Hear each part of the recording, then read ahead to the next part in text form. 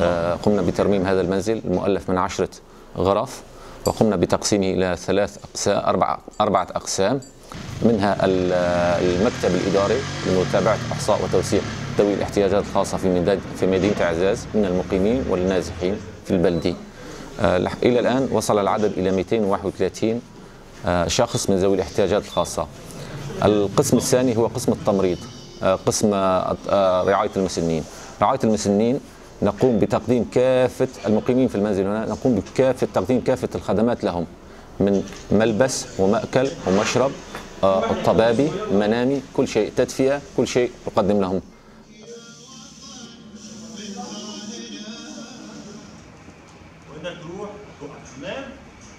أنا درست بمعهد المكفوفين بحلب. آه، ومثل ما درست أنا بمعهد المكفوفين بلغة برايل فعم افتتحنا هون مركز بعزاز بدار صناع الأمل. عم ندرس طلاب مكفوفين آه، لغة برايل على القراءة والكتابة عن طريق اللمس. وفي عنا الحمد لله عملنا نسخ قرآن اللي بيتعلم نعطيه نسخة قرآن.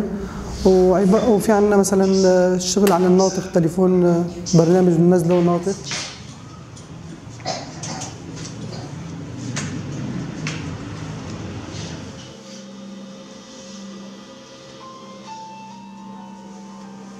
Thank